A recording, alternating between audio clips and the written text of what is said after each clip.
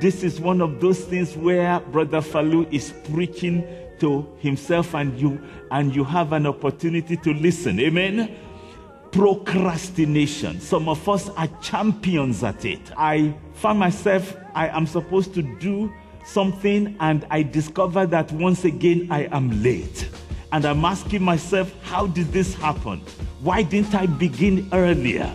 What is the matter with me? And you begin to feel guilty, you begin to feel frustrated, you begin to feel de- defeated. Now, nobody, nobody procrastinates all the time.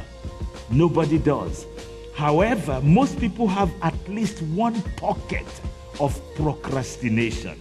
My wife will say, D, we're supposed to leave, D, we're leaving at 10 15, and I've said, don't worry, 10 10 15, I will be ready. And then 10 15 comes, then I realize I don't even have my shoes on yet. I'm still checking this and that. And you begin to ask yourself, what is going on? May God help us all in the name of Jesus.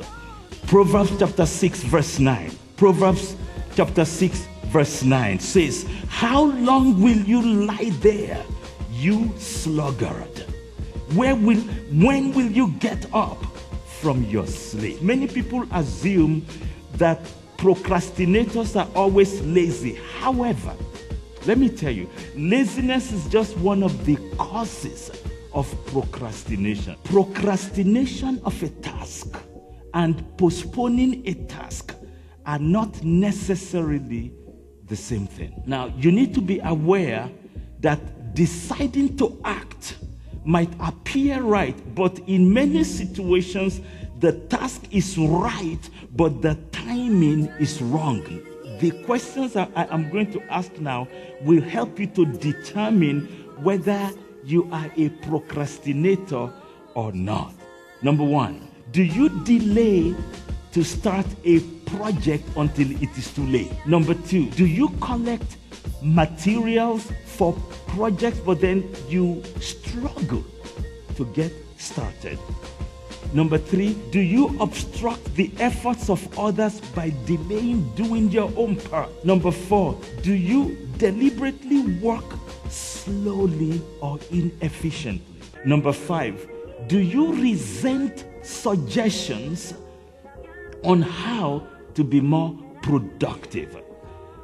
Next one, do you find yourself consistently late for appointments?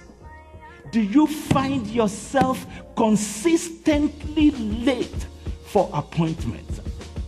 Or are you somebody who, I mean, there are people in my life that I know that if I am having a meeting with them for 10 a.m., I know that when it is 10, when I look at that door, they're going to be walking through that door. I know them.